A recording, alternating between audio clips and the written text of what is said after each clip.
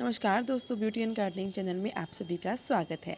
आज हम मरवा प्लांट पे बात करते हैं। मरवा जो प्लांट है, बहुत ही इजी टू ग्रो प्लांट है, बहुत ही हार्डी प्लांट है। दोस्तों, ये जो प्लांट है, ये तुलसी प्लांट की फैमिली से बिलोंग करता है।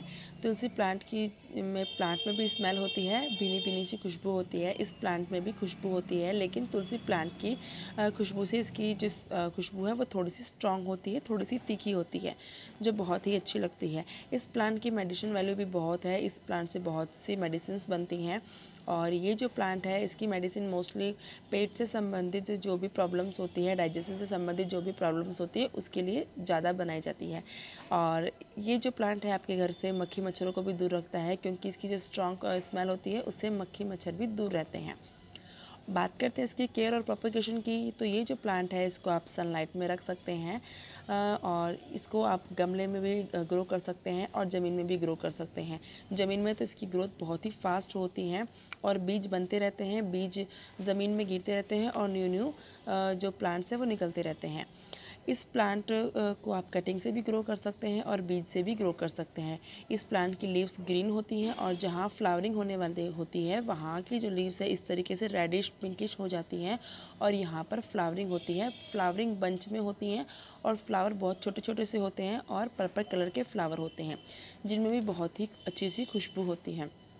इन फ्लावर को अगर आप रिमूव नहीं करेंगे तो वो फ्लावर ब्राउन हो जाएँगे और उसमें सीड्स बन जाएँगे। इस तरीके से आप सीड भी कलेक्ट कर सकते हैं और इसको कटिंग से भी ग्रो कर सकते हैं।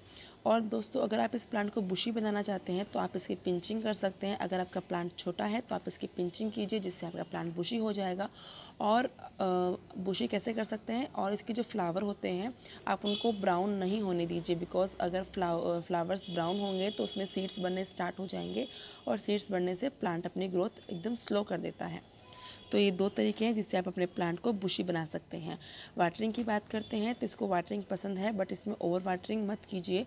जब मिट्टी की ऊपर की लेयर आपको ड्राई लगे, तभी आप इसमें वाटरिंग कीजिए, वरना आपका ये प्लांट ओवर वाटरिंग से ख़राब हो जाएगा।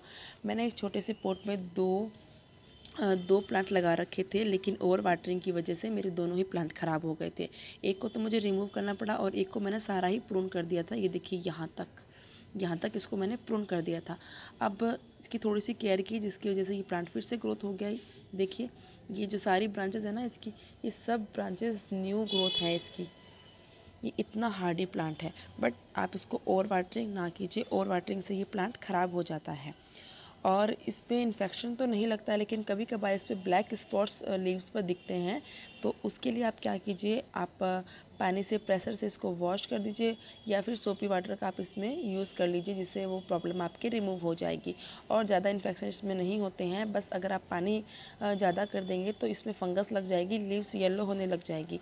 इससे आपका प्लांट ख़राब हो जाएगा। और इस प्लांट में कोई भी प्रॉब्लम नहीं आती है। मैंने तो अभी तक इस प्लांट में और कोई प्रॉब्लम देखी भी नहीं है। इतना ईजी टू ग्रो प्लांट है, इतना हार्डी प्लांट है।